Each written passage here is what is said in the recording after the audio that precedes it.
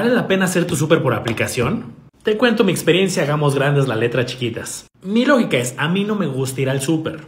No lo odio, pero es tiempo que puedo dedicar a otras cosas más productivas o a jugar play o a hacer lo que sea. Y como todo tiene pros y contras. A ver, el costo-beneficio de entrada me parece bueno. 500 pesos al año todos los envíos. Por mi tiempo vale la pena. La forma de usar la app bastante intuitiva, por pieza, por peso. Y bueno, eso es todas las marcas. Yo utilicé esta para el ejemplo, pero en todas ha de ser igual. Los precios los vi algo similares a la versión física. El costo total salió también muy similar, entonces ahí no veo una diferencia.